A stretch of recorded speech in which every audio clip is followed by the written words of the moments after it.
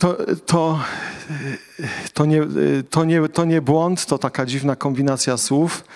Y, może wasze mózgi przeczytały y, tak na szybko Kościół niedzielny, ale tak naprawdę to, to jest napisane Kościół niedzielmy. I zaraz wytłumaczę, wytłumaczę w trakcie kazania o co chodzi, dlaczego taki tytuł. I rzeczywiście on wiąże się i z Kościołem niedzielnym, i z tym, aby nie dzielić pewnych rzeczy w naszym życiu. W życiu. Jesteśmy po dość długim czasie mówienia o grupach, o małych grupach, y, niektórzy z Was zauważają, że pojawia się taki baner małe grupy sercem Kościoła, y, czyli rzeczą, która napędza życie. Tak? Takie, jest, takie jest przesłanie, centrum, czymś niezwykle ważnym, czego w niedzielę właśnie nie widać człowiek jest fantastycznie skonstruowany, bo tak naprawdę my patrzymy na to, co widać, a żyjemy dzięki temu, czego nie widzą nasze oczy. Prawda? Gdy patrzymy na siebie. Żyjesz dzięki płucom, dzięki sercu, dzięki wszystkiemu, co jest zakryte tą zewnętrzną powłoką Twoim ciałem. Są ludzie, którzy nie są zbyt ładni albo mieli wypadek i są brzydcy. Ale nie to stanowi o ich życiu lub śmierci, ale to, czego nie widać. I stąd mówiliśmy o małych grupach i y, w inny sposób, za pomocą może innych bodźców niż, niż to, co było w kampanii, do wakacji chcemy kontynuować ten temat. Czyli mówić o rzeczach niezwykle ważnych, o tym, czego nie widać w niedzielę, a dzięki czemu Kościół żyje. Amen? Czyli Kościół niedzielny nie wystarczy. A my jako Kościół nie dzielmy naszego życia na nasze życie prywatne i na niedzielę, która jest dla Pana Boga i wtedy jest Kościół. Bo nie zbudujemy, kochani, Kościoła w niedzielę. Nie zbudujesz swojego życia duchowego w niedzielę. Nie będziesz wzrastał, jeśli będziesz tylko w niedzielę. Jeśli będziesz dzielił swoje życie na swoje życie i na Pana Boga w niedzielę, nie mam dla ciebie dobrych wieści. Nie dasz rady. Gdyż to, co jest najważniejsze, co będzie stanowić o Twoim duchowym życiu, życiu, przepraszam, o Twoim życiu jako chrześcijanina nie będzie działo się w niedzielę. Możemy tak się wstępnie zgodzić z takimi założeniami? Amen? Amen. Mam nadzieję, że tak. E, kochani, wizję KDM-u wyrażamy słowami Kochając Boga, niesiemy nadzieję ludziom na, nowe, ludziom na nowe życie z Jezusem. Kochając Boga, Bóg jest naszym numer jeden. Kochamy Go bardzo. Umarł za nas. Oddaliśmy Mu swoje życie. Dlatego Go kochamy bardzo, bo wiemy, gdzie jesteśmy dzisiaj w życiu, tutaj na ziemi, że jesteśmy ludźmi, którzy są zbawieni. Ale chcemy to zbawienie nieść dalej, tak? Dawać ludziom nadzieję na nowe, lepsze życie, na życie z Jezusem Chrystusem. I stąd, patrząc na słowa e, na ekranie, które wyrażają wizję Kościoła dla miasta w Rybniku, kochani, my też, a może my przede wszystkim, musimy być ludźmi nadziei. Ludźmi, którzy z nadzieją patrzą w przyszłość. Tak? Cytuję Słowo Boże w Starym Testamencie. Bóg powiedział, że ktoś patrzy w przyszłość z nadzieją. Dlaczego? Dlatego, że Bóg już tam jest. Dlatego, że Bóg jest dobry, który tam jest. I Bóg, który jest dobry, czeka na ciebie w przyszłości, której nie znasz i ma dla ciebie już dobre rzeczy. Amen? Musimy w ten sposób zacząć żyć, musimy w ten sposób zacząć myśleć. Kto był na y, platformie służby kilka y, miesięcy temu, nie tygodni, bo to co miesiąc, miał okazję spotkać się z pastorem Mariuszem Muszczyńskim, to pewnie usłyszał takie zdanie i chciałbym je, y, i będę je powtarzał dość często, aby, abyśmy się z, nimi z nim zaprzyjaźnili. Historia dobrze się kończy. Historia Twojego życia dobrze się skończy. Historia, którą przeżywasz teraz i być może jest trudna dla Ciebie, dobrze się skończy. Bo taki jest Bóg. Jeżeli będziesz się go trzymał, jest warunek. Jeżeli będziesz blisko Niego, jeżeli będziesz nie niedzielnym chrześcijaninem, ale tym, który nie dzieli swojego życia na swoje prywatne sprawy i na okienko dla Pana Boga, historia zawsze dobrze się skończy. Stąd, jeśli chcemy nieść nadzieję, sami musimy być ludźmi nadziei. Amen? Cieszyć się na przyszłe dni, wyglądać dobrych rzeczy od Boga, gdyż taki On jest. E Bill Heibel w swojej książce, jednej ze swoich książek, mniejsza o tytuł, e, opowiada historię, gdy runęły wieże. Gdy runęły wie, wieże World Trade Center w Stanach Zjednoczonych i miał możliwość, okazję być tam na miejscu. E, żadne słowa parafrazuję książkę, nie są w stanie oddać tego, co czuł człowiek, będąc tam w niedługim czasie po wypadku. Ja y, przypominam sobie y, moment w moim życiu, kiedy wydaje mi się, że czułem coś podobnego, a skala była o wiele niższa, skala tragedii. Był, nie pamiętam który rok, ale była wielka powódź i Racibórz był zalany. Jak wjeżdżamy do Boża, tam nie można było wjechać, był po prostu zalany. Nie pamiętam, który rok, ale, ale, ale nie było takiej powodzi długo, długo wcześniej i długo, długo później. Który? Mhm, 97 rok ubiegłego stulecia. Słuchajcie, jak to brzmi. Wielka powódź. I e, pamiętam, gdy wody opadły, wsiadłem na rower i pojechałem do Raciborza, żeby zobaczyć, skutki powodzi. I do Boża zjeżdża się prawie z każdej strony z góry. Tam od strony pogrzebienia, główną drogą zjeżdżałem z góry i, i pierwsze co to zapach. A druga rzecz, którą zauważyłem, to martwe zwierzęta. Gdzieś po lewej stronie. I coś się ze mną wtedy stało. No teraz nawet się wzruszam. Zacząłem płakać jak dziecko, widząc rozmiar tragedii, którą ludzie zostali dotknięci. Czyli wyobraź sobie, że jesteś e, w miejscu, gdzie runęły wieże, gdzie nie, by, gdzie nie było martwych zwierząt, ale gdzieś pod ruinami ciągle byli martwi ludzie. Setki, tysiące martwych ludzi. I pastor Bill Hybels tam był i mówił, że nie da się opisać tego, co przeżywał w tym momencie. Ale była tam rzecz, której media nie pokazywały, a która dla niego stała się najważniejszym wspomnieniem z tamtych chwil i z tego przeżycia. Media nie pokazywały, że tam był Kościół. To nie była niedziela, to nie było nabożeństwo. To były normalne dni tygodnia i tam był Kościół, pośród tych, których dotknęła tragedia, którzy stracili bliskich, którzy chodzili i pytali, czy odnaleziono taką czy taką osobę żywą. Tam był kościół, który współczuł tym ludziom. Tam był kościół, który modlił się o nich. Tam był kościół, który był z tymi, których tragedia dotknęła najbardziej, najgłębiej.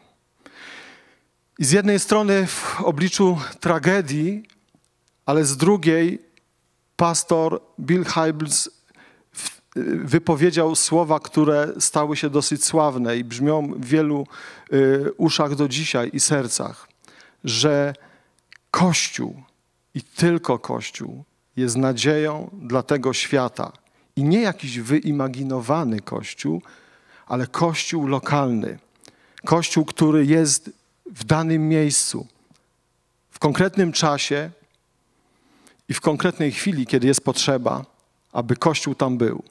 Kościół jedyną nadzieją dla świata. Dwa tygodnie temu e, Jarek głosił kazanie, w którym przewijała się myśl o działaniach społecznych, o tym, że Kościół w mieście to, to Kościół właśnie, który musi coś robić, który musi coś zrobić, by świat był lepszy, który musi rzeczywiście być e, nadzieją. Jak uświadomimy sobie, e, jak Bóg nam to objawi, tak jak Heibelsowi objawił, że nie ma planu B po prostu. Jesteśmy my i Bóg nie ma planu B. I gdy Jarek mówi o tych działaniach społecznych, to rozmawialiśmy po nabożeństwie o, o, o morzu potrzeb, jakie są wokół nas, o tym, jak, jak rozpadają się małżeństwa, nie dlatego, że, że, że dzieje się to przez przypadek, ale dlatego, że, że społeczeństwo wokół nas, że pokolenie, które zawiera dzisiaj związki małżeńskie, w, w ogóle nie jest do tego przygotowane. W ogóle nie ma pojęcia, co robi. Nie, nie, nie, mają absolutnie y, pojęcia i podstaw, co to znaczy żyć blisko z drugą osobą, co to znaczy kochać. Co to znaczy kochać? Że to nie znaczy seks, tak? Tylko i wyłącznie. Co to znaczy żyć dla drugiej osoby? Co to znaczy przebaczać? Co to znaczy być cierpliwym? My to wiemy, tak? 1 Koryntian 13 rozdział hymn o miłości. Jaka jest miłość? Ale ci ludzie, nasi kochani, rodacy, o tym nie wiedzą. Myśmy o tym może wiedzieli jako dzieci, oni o tym nie wiedzą. Dlatego, kiedy zaczynają żyć blisko z drugą osobą, nagle się okazuje, że, że to jest niemożliwe. Nie da się. Nie da się. Może potrzeb. I wydaje mi się coraz bardziej, że jedyną realną nadzieją, dla tych ludzi, dla tego świata, dla miasta, w którym żyjemy, jest Kościół. Coraz bardziej do tego e, gdzieś dorastam i coraz bardziej to sobie uświadamiam. I kochani, e, zrobiło się poważnie, e, potem może jeszcze też będzie poważniej, żeby, żeby, żeby było troszkę e, swobodniej. Jest fantastyczny żart, nie na czasie, ale bardzo mi się podoba, dlatego chcecie usłyszeć? Fantastyczny żart nie na czasie? Mogę? Taki żarcik?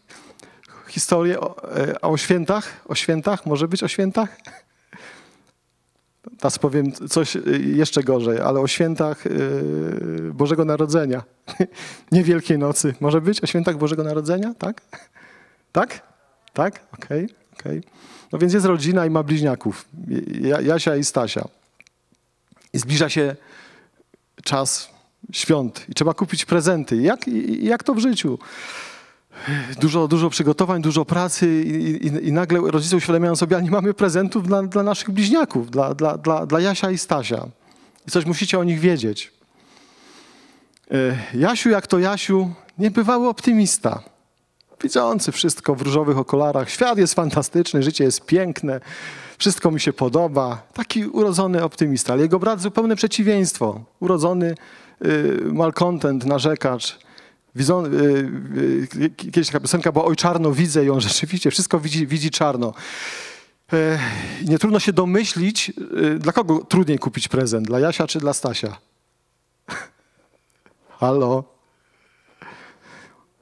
Dla czarnowidza oczywiście, że tak. No więc po prostu ci rodzice y, tak kochają swoje dzieci i są, y, jak, jak każdy, bardzo przejęci oczy, oczy, oczywiście Stasiem, no, no, no bo trudno go zaspokoić, trudno, trudno, trudno mu dogodzić i, i, i, i naprawdę za 5-12, bo, bo oczywiście wszystko jest na ostatnią chwilę, jak, jak to w święta, jadą po te prezenty, mieszkają na wsi, jadą do miasta i chodzą i myślą, patrzą na wystawy, na półki, myślą, co tu kupić naszemu synowi. Żeby nie narzekał, żeby powiedział wow, żeby powiedział super, żeby się cieszył ze swojego prezentu. I, i, i, i tylko o tym myślą, bo to jest główny problem. Wiadomo, że cokolwiek kupią Jasiowi, on będzie przeszczęśliwy, ale co kupić Stasiowi? I myślą, myślą, myślą, myślą, nagle, nagle jest, jest piękna kolejka, ale piękna szyny, pociąg, e, elektryczność, wszystko samo jeździ. No, no przecież jak mu to kupimy, e, to, to, to będzie fantastycznie. No i, i rzeczywiście dokonują tego wyboru, kupują kolejkę, tacy szczęśliwi.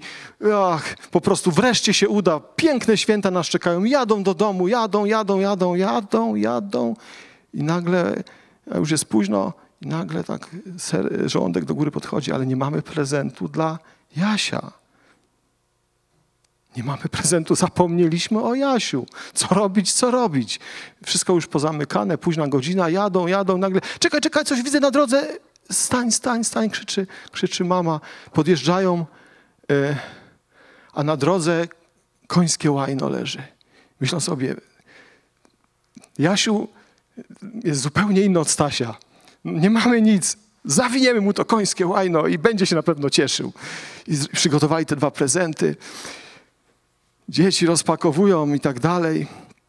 Spotykają się gdzieś potem przy stole i, i, i się zaczyna. Jasiu taki szczęśliwy. Stasiu, Stasiu, co dostałeś?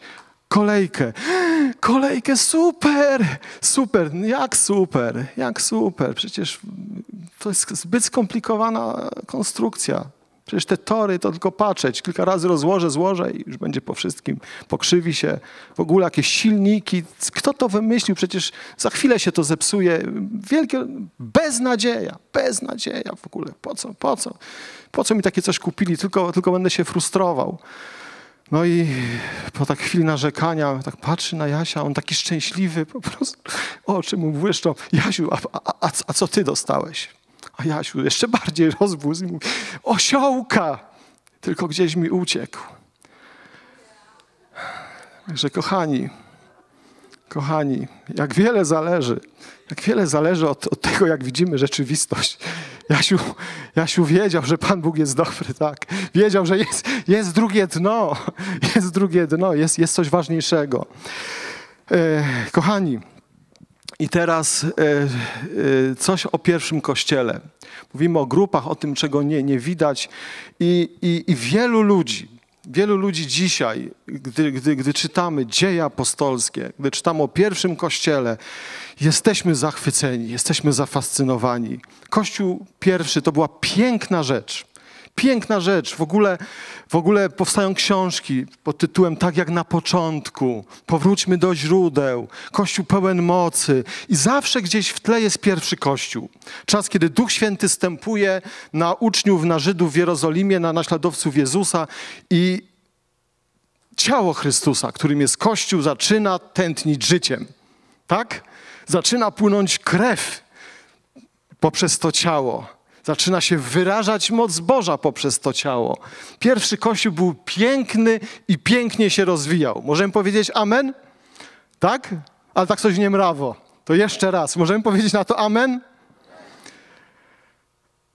Czytajcie dzieje apostolskie, żeby uwierzyć w to bardziej. Amen? Pięknie się rozwijał. Kilka dowodów, kilka dowodów. Kochani, dzieje apostolskie, drugi rozdział.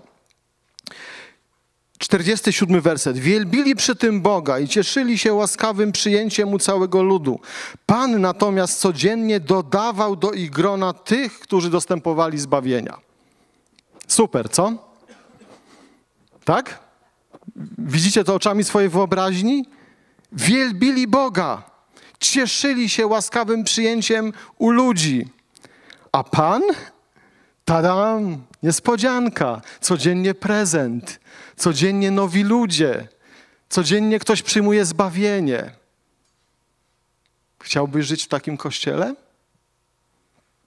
Ja tak. Dalej, dzieje czwarty rozdział, czwarty werset. Tymczasem wielu spośród tych, którzy usłyszeli to słowo, uwierzyło. Liczba samych mężczyzn dochodziła do około pięciu tysięcy. Czyli zobaczcie, stępuje Duch Święty, ciało Chrystusa, którym jest Kościół, zaczyna żyć i zaczynają dziać się rzeczy. Pan Jezus zgromadził tłumy, ale Kościół to jakaś po prostu bomba.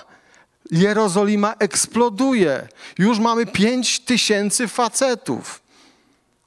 Jeszcze są kobiety, jeszcze są dzieci. Mamy po prostu mega kościół w Jerozolimie. Tak? Dokładnie tak. Dzieje 4:33. Apostołowie z ogromną mocą składali świadectwo o zmartwychwstaniu Pana Jezusa, a wszystkim towarzyszyła wielka łaska. Fantastycznie. Dzieje szósty rozdział, siódmy werset. W ten sposób słowo Boga krzewiło się i liczba uczniów w Jerozolimie niezmiennie rosła. Ała. Czwartym rozdziale już było pięć tysięcy facetów. Jak dodamy ich rodziny i tak dalej, to mamy spokojnie dziesięciotysięcznik, nawet więcej. A w szóstym czytamy, że nic się nie zmienia w kontekście wzrostu. Kościół ciągle rośnie. Liczba uczniów w Jerozolimie nie, niezmiennie rosła. Liczna też, Rzeszów, liczna też rzesza kapłanów dawała posłuch wierze. Co się dzieje? Już nawet ci, którzy ukrzyżowali Jezusa, którzy byli po tamtej stronie, zaczynają przyjmować wiarę. Fantastycznie, prawda? Fantastycznie. Kocham pierwszy kościół. Kocham pierwszy kościół.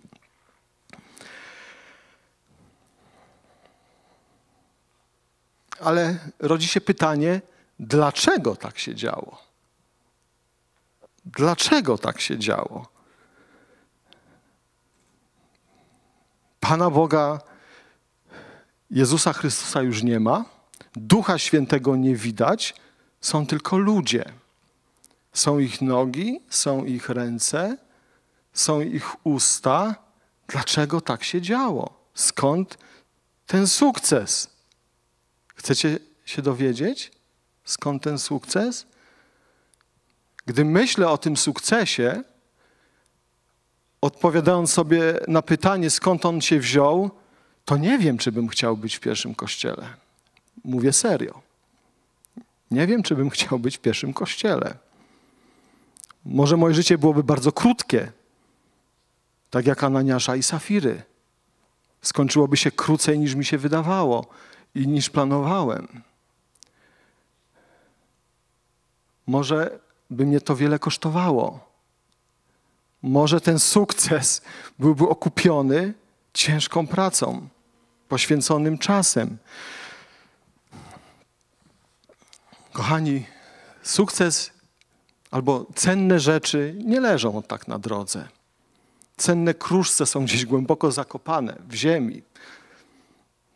Pan Bóg się nie myli i, i projektując ten świat, pokazuje nam wiele obrazów, które dają do myślenia. Na ziemi leżą tylko kamienie, byle jak, jakieś błoto, ale jak chcesz znaleźć złoto, jak chcesz znaleźć jakiś cenny kamień, musisz się napracować. Płacono cenę, płacono cenę.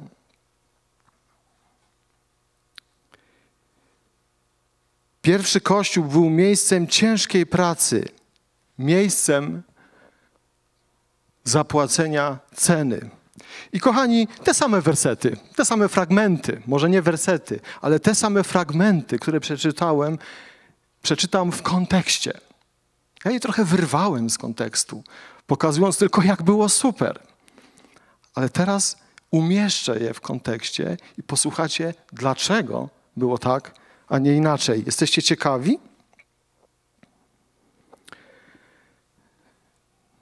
Czytałem Dzieje Apostolskie 2,47, ale co pisze wcześniej? Od 42 wersetu. Trwali oni w nauce apostołów. Mówiąc językiem dzisiejszym, Słowo Boże było w poważaniu. To, co Bóg mówił przez apostołów, było w poważaniu. Jeśli Bóg powiedział, to powiedział. Jeśli ja coś sobie myślę, a Bóg mówi, to im szybciej zrezygnuję z mojego myślenia i będę dostrajał moje myśli do myśli Bożej, tym, Bożych, tym lepiej dla mnie. Amen? Prawda? Trwali w, nau w nauce apostołów, we wspólnocie, razem łamali chleb, nie ustawali w modlitwie. Nie ustawali w modlitwie. Kiedy Paweł pisał, bez przestanku się módlcie, to nie był żart. To nie był żart. Każda osoba była przejęta lękiem przed Panem. W pierwszym kościele ludzie bali się Pana. Bali się Jego obecności. A ponieważ za sprawą apostołów działo się wiele cudów i znaków, jednym z nich była śmierć oszustów, ludzi, którzy oszukali Ducha Świętego, którzy coś dla Pana, ale coś dla nas i jeszcze małe kłamstwo. I będzie ok. To był cud i znak. Nikt ich nie dotknął, a padali trupem, gdyż oszukiwali Ducha Świętego. Wszyscy wierzący trzymali się razem i mieli wszystko wspólne. Dalej podoba Ci się pierwszy kościół? Czytam dalej, 45. Jesteśmy ciągle przed przed tym 47, gdzie było tak super. Sprzedawali przy tym posiadłości oraz mienie i uzyskane w ten sposób środki dzielili między sobą, zgodnie z tym, jaką kto miał potrzebę. Dalej Ci się to podoba? Codziennie też jednomyślnie gromadzili się w świątyni. Ile razy w tygodniu? Codziennie. Powiesz, świat był inny. Pewnie tak. Pewnie tak. Ale pewnie też to był początek. Pewnie też to było narodziny, to były narodziny Kościoła. Gdzieś potem rzeczy zaczęły się stabilizować. Już potem nie sprzedawali wszystkiego y, swoich posiadłości, bo, bo Pan nie nadchodził, tak? Bo Pan nie nadchodził, bo Pan miał inny kalendarz, inne poczucie czasu niż im się wydawało. Więc zaczęli lądować gdzieś w takich miejscach y, bliższych naszej kulturze, ale, na, ale, ale my się zachwycamy przecież pierwszym kościołem. A pierwszy kościół nie był kościołem w niedzielę. Nie był to kościół, który, w którym ludzie dzielili swoje życie na swoje życie i życie dla Pana. Codziennie też jednomyślnie gromadzili się w świątyni, a łamiąc chleb po domach, przyjmowali pokarm z wielką radością i w prostocie serca. I to jest coś, co próbujemy robić co próbujemy odbijać. Niedzielę i po domach. Niedzielę i po domach. Serce jest w domu, serce jest w grupie. Twój ratunek i Twój wzrost jest, jest w grupie. E, umieszczam w kontekście teraz czwarty rozdział, gdzie była ta fantastyczna moc i gdzie towarzyszyła wszystkim wielka łaska. 4,33. A co? Mówi 32 werset. Cała rzesza tych, którzy uwierzyli, miała jakby jedno serce i jedną duszę. Nikt też nie nazywał własnym tego, co posiadał, ale wszystko mieli wspólne. Stąd słowo wspólnota. I mówiliśmy o tym przejaskrawieniu i przegięciu, tak? Ale to nie zmieniało charakteru Charakter pozostaje ten sam. moje to nie moje. Moje to dar od Pana. Tak, moje życie to dar od Pana. moja praca to dar od Pana. Źródłem mojego zaopatrzenia jest Pan. Pewnego razu, przypomnijcie mi, kogo karmiły kruki, Eliasza czy Elizeusza? Eliasza. Eliasza. Eliasz, Eliasz, Eliasz myślał, że jego zaopatrzeniem to kruki i potok. Bóg go posłał i, i myślał, i, i, był szczęśliwy, tak? Miał co jeść, to wtedy, wtedy, wtedy, był głód i tak dalej, ale Eliasz miał co jeść. Jego zaopatrzeniem były kruki, przynosiły mu jedzenie i potok, który dawał mu wodę. Co się dzieje pewnego razu? Potok wysechł. Potok wysechł. I Bóg mówi: idź do wdowy. Ona się o ciebie zatroszczy. Znamy historię. Wniosek tylko jeden. Lekcja. Nie potok, tak? Nie kruki są moim zaopatrzeniem, ale Pan, który jest w niebie. Potok wysycha, a Bóg znajduje inne rozwiązanie. Kiedyś Craig Groeschel, głosząc kazanie, jak popełnić cudzołóstwo, polecam Kościół Online TV. Oczywiście nie polecam cudzołóstwa, polecam to kazanie. Każdy facet powinien go wysłuchać. Absolutnie mówię poważnie. Każdy facet. Kościół Online TV. Szukać w archiwum. Pięć sposobów, jak zniszczyć sobie życie. Taki cykl. I pierwsze kazanie, jak popełnić cudzołóstwo. Craig Groeschel mówi w tym kazaniu, że jeżeli twoja praca jest dziwna i na przykład wysyła ciebie z jakąś asystentką w podróż służbową, to zmieniaj pracę szybko. Bo to jest dramat. To jest dramat. Bóg powiedział, ale, ale, ale przepraszam, przepraszam, ale, ale to jest moja praca, to jest moje źródło dochodu. Odpowiada, co lepiej, co łatwiej znaleźć? Nową pracę czy nową żonę? Nową pracę czy nową żonę? Pan jest zaopatrzeniem. Pan jest zaopatrzeniem. Bo tam w tym kazaniu to jest, jeżeli twoja praca stwarza ci pro, problemy i nie pozwala ci żyć czystym życiem, le, łatwiej znaleźć pracę niż, bo Pan jest zaopatrzeniem. Ok, idziemy, idziemy szybciutko dalej. Czyli mamy kontekst, tak? Nikt, i, i, i teraz werset po. Nikt między nimi nie cierpiał niedostatku. Ci bowiem, którzy byli właścicielami gruntów lub domów, sprzedawali je i przynosili pieniądze uzyskane ze sprzedaży, kładli je u stóp apostołów. Tak zgromadzone środki rozdzielano każdemu zgodnie z tym, jaką miał potrzebę. Tak uczynił Józef, nazwany przez apostołów, pamiętacie? Barnabą. Wszyscy znamy Barnabę.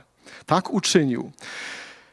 I nie będę mówił, że świat się zmienił, bo wiemy, że się zmienił. Ale chcę pokazać, że oni płacili cenę, tak? Że Bóg patrzy na serce.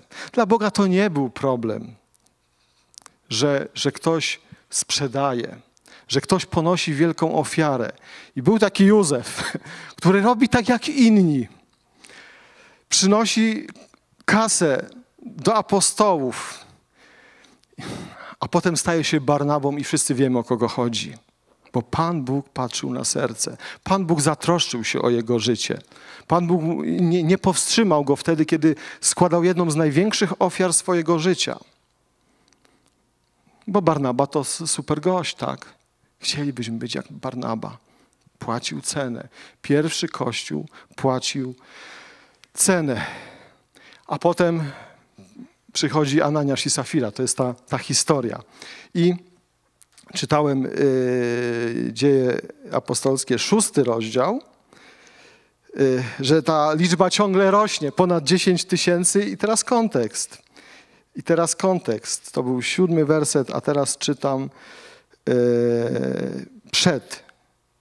O właściwie opowiadam, gdy liczba uczniów wzrastała, zaczęło się szemranie hellenistów przeciwko Żydom, że zaniedbywano ich wdowy w codziennym posługiwaniu. Czyli wzrost równa się problemy i trzeba je rozwiązywać. I znacie historię dalej. Upatrzcie spośród siebie, tak mówią apostołowie, gdyż my musimy pilnować naszego powołania, Słowa Bożego i modlitwy. Czyli rozwiążcie ten problem. Wspólnoto rozwiąż ten problem. Rozwiąż ten problem, problem wzrostu. I wiemy, co się wydarzyło. Szukali mężów pełnych Ducha Świętego i wiary, wybrano diakonów i problem został rozwiązany. Ale kto go rozwiązał? Zapłacili cenę. Pewni ludzie postawili się do służby. Po prostu, tak? Czyli serce Kościoła biło, krew krążyła, wzrost następował, ale wzrost miał swoją cenę. Ewangelia Świętego, według Świętego Marka, trzeci rozdział, trzynasty werset. Jest mowa o Jezusie i pierwszych uczniach. Następnie wszedł na górę, po czym przywołał do siebie tych, których On sam chciał, a oni przyszli do Niego. Powołał dwunastu, których też nazwał apostołami. Wybrał ich po to, by Mu towarzyszyli, by móc ich posłać do głoszenia dobrej nowiny. Kochani, Fantastyczny tekst. Tam wcześniej mówiliśmy o pierwszym kościele, a teraz o pierwszych uczniach i to jest dokładnie kalka. Bycie z Jezusem było czymś fantastycznym. Oglądanie znaków i cudów Syna Bożego, mówiąc nowocześnie w akcji, było czymś fantastycznym. Powołał ich dwunastu, aby z Nim byli. Bycie z Nim było czymś fantastycznym. A jeszcze jak wybrał cię na przykład spośród innych i wziął cię na górę, to dopiero było. Jakie tam się rzeczy działy. Było tak fantastycznie, że nie chcieli iść do, yy, schodzić z tej góry, tak? Piotr, Jan, Jakub, tak? Trzech. Nie chcieli schodzić z góry. Chcieli tam rozbijać namioty. Będziemy żyć z Panem forever, na wieki wieków, amen. Coś fantastycznego. E, ale była cena do zapłacenia. Pójścia za Jezusem, aby pójść za Jezusem, była cena do zapłacenia. I choćby tą ceną było to, że, że Pan Jezus powołał ich i był z nimi nie po to, by było fajnie, albo cały czas było fajnie, ale aby ich wysłać na zwiastowanie Ewangelii. Tak? Prawda? Pan Jezus rozpoczął swoją publiczną służbę, która trwała około trzy lata, powołał uczniów, apostołów, aby z nim byli, aby było super, ale z nim byli miało się skończyć, przynajmniej w takiej formie, w takiej postaci, i potem już było zwiastowanie. Potem już był pierwszy kościół, potem już moje ręce, moje usta, moje nogi, moje serce, mój przemieniony umysł, mój charakter, moje poświęcenie, mój czas i tak dalej, i tak dalej. Chrystus przejawiał się w Kościele. I nie inaczej było, jeśli chodzi o pierwszych uczniów. Jest taki człowiek, Patrick Lencioni, specjalista, chrześcijanin od, od, od biznesu, od, od rozwoju organizacji, taki do, mentor, coach, doradca. E, I napisał taką książkę o spotkaniach. O tym, że ludzie się spotykają, spotykają się w firmach, spotykają się w kościołach i tak dalej, i tak. I mówi tak, że prawie w każdej firmie spotkanie jest najbardziej znienawidzoną czynnością przez ludzi jest, wydaje się być marnowaniem czasu. Przecież zamiast spotykać się moglibyśmy coś zrobić, prawda? Gdy nie będzie mnie na spotkaniu, co z tego? Przecież nie spotkaniami żyje człowiek. A cała książka jest o spotkaniach, bo mówi, że żadna firma, żadna organizacja, żaden kościół nie jest w stanie funkcjonować i żyć, jeśli ludzie się nie spotkają. Czytaliśmy o pierwszym kościele. Tak? Byli razem, spotykali się codziennie i tak dalej, i tak dalej. Kochani, tego nie przeskoczymy. Gdy jesteśmy razem, to jesteśmy razem. Mieliśmy fantastyczną modlitwę dzisiaj przed nabożeństwem i, i, i naprawdę Pan mi pokazał siłę faktu, gdy jesteśmy razem. Bo było nas tak trochę trochę więcej niż, niż tylko na scenie, trochę więcej niż tylko y, osoby, które modliły się y, tam w reżyserce kiedy, wcześniej.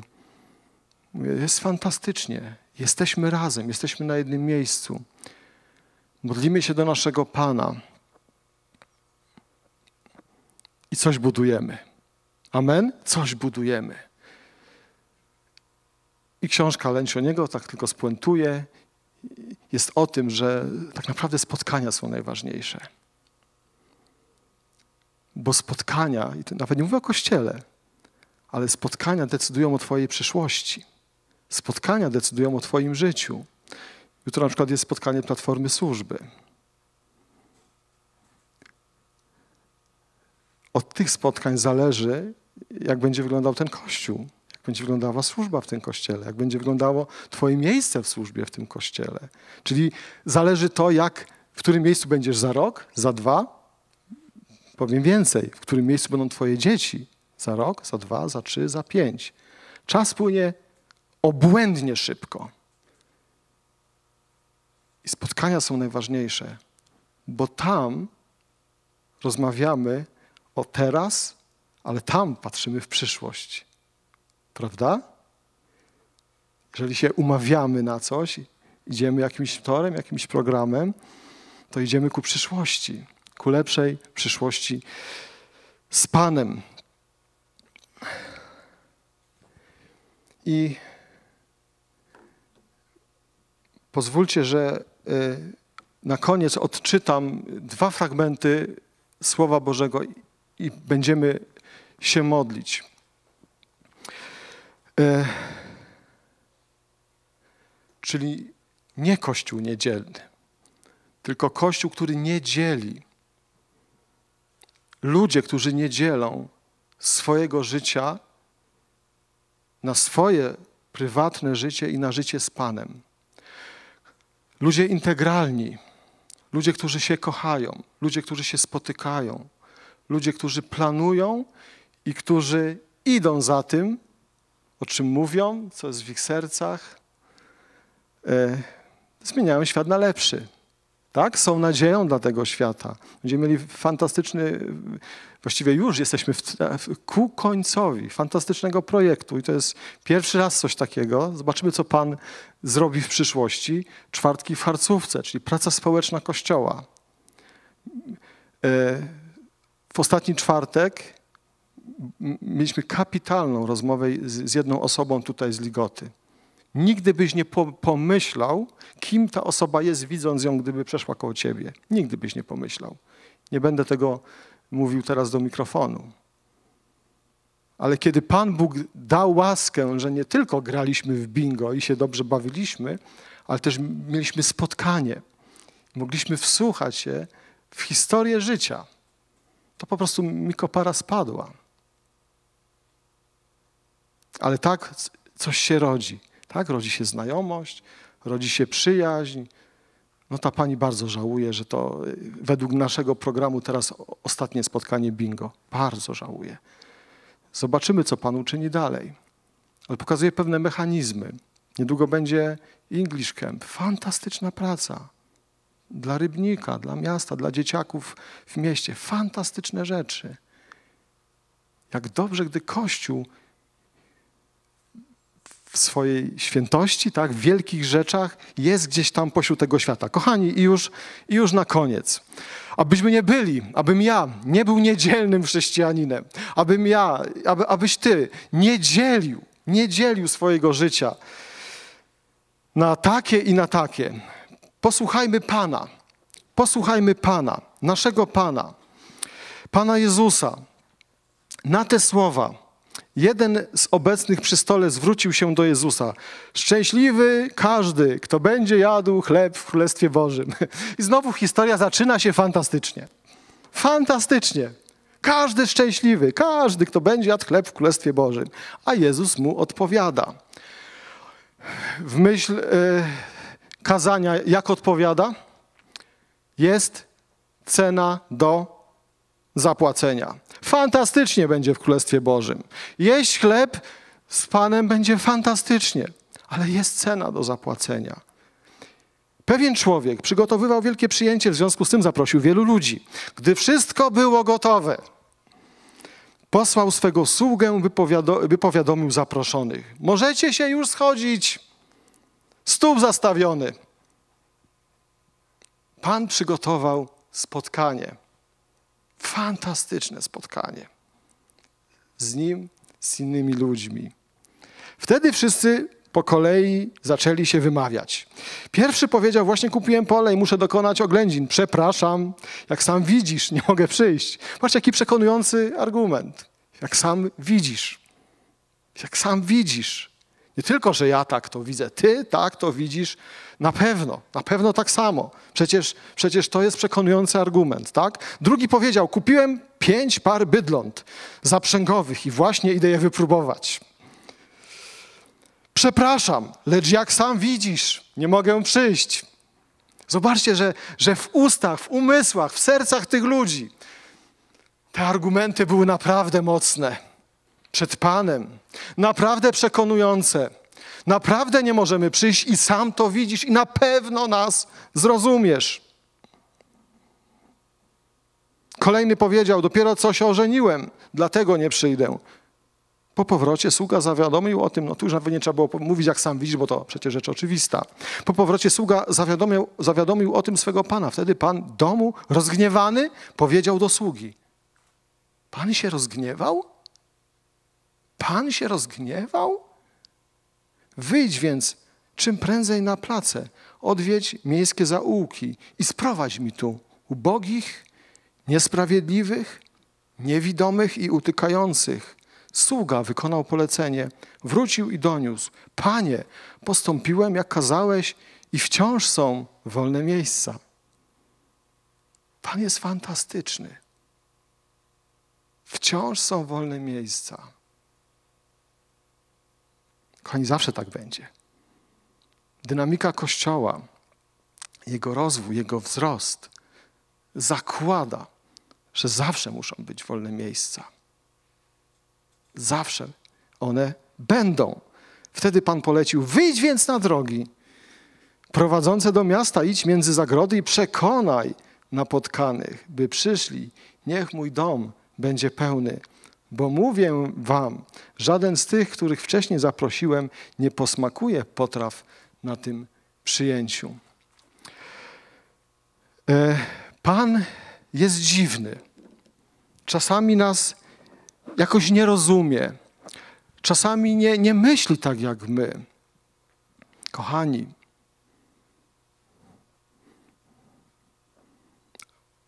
albo wierzymy, że Jego myśli są wyższe, lepsze, wspanialsze, że Jego drogi są lepsze, albo nie. Dlatego się Pan nie daje przekonać, bo On wie, że Jego drogi są lepsze, Jego myśli są lepsze. On wie, że jak nawet potok wyschnie, to poprowadzę Cię w miejsce, e, gdzie będzie zaopatrzenie. I ostatni werset, już krótki, 2 Piotra 3, 1, 9 i będziemy się modlić. Chcemy powstać, kochani, 2 Piotra 3, 1, 9.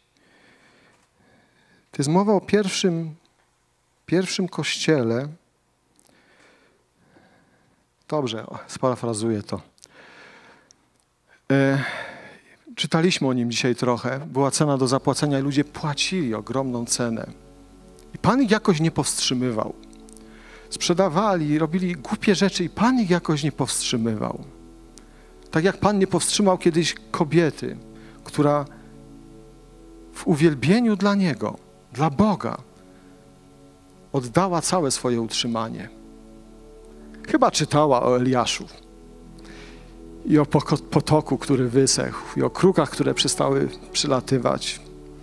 I zrozumiała lekcję, że, że to w Panu jest moje zaopatrzenie. I dzięki Niemu będę żyć. I w Nim jest moja przyszłość, a nie w tym ostatnim groszu. Robili tak dlatego, bo wierzyli, że Pan już przychodzi. Ale nie przychodził. Płynęły lata, dziesiątki lat. Powstaje drugi list Piotra, bo powstali też pewni ludzie, którzy zaczęli się śmiać. Gdzież jest obiecane przyjście Jego? Przecież ziemia cały czas trwa tak, jak trwała. Gdzież są te wszystkie obietnice? Śmiali się z chrześcijan. Pewnie śmiali też się, się też z tych, którym może nie wiodło się tak, bo kiedyś sprzedali wszystko. I nie dorobili się już tak wielkich majątków, a może się dorobili, bo zaopatrzenie u Pana była, nie, nie, nie w ich majątnościach. I śmiali się. I Piotr pisze list do chrześcijan i mówi: Pan zwleka? Pan nie zwleka. Pan nie zwleka. Kościele dzisiaj, chcę to powiedzieć, Pan nie zwleka. Nam się już wydaje i dlatego nie sprzedajemy swoich majątków, tak? Już wiem, jesteśmy mądrzejsi, że, że Pana kalendarz bił trochę inaczej Że nie chodziło o miesiące, lata czy nawet dziesiątki, ale już o setki lat, o tysiące. Ale Pan nie zwleka. Nie zwleka, ale co robi? Pamiętacie, co tam jest napisane? Okazuje cierpliwość. Bo nie chce, aby ktokolwiek zginął, ale chce, aby jak najwięcej ludzi przyszło do Jezusa. Kochani, to jest okres, w którym my teraz żyjemy. Pan nie zwleka, ale wciąż potrzebuje poświęconych mu ludzi, którzy płacą cenę. Bo Pan nie zwleka, bo Pan nie czeka na to, aż pomyślisz, jest duszo i pij, już wszystko mam poustawiane, super życie, niczego nie potrzebuję. Pan nie chce sprowadzić się do tego miejsca, bo to byłaby wielka tragedia. Ale Pan zwleka, bo czeka na tych, którzy jeszcze Go nie znają. I kogo pośle? Kto będzie nadzieją dla tych ludzi?